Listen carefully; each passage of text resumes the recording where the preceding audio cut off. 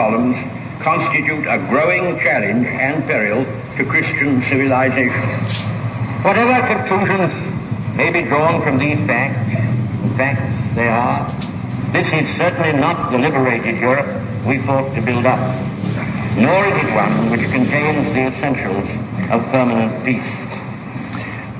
Immediately after that, Stalin came out with answers to a foreign correspondent's questions, in which he compared Churchill to Hitler and uh, decried uh, Churchill's speech uh, as a uh, a call, a belligerent call to arms against Soviet Russia.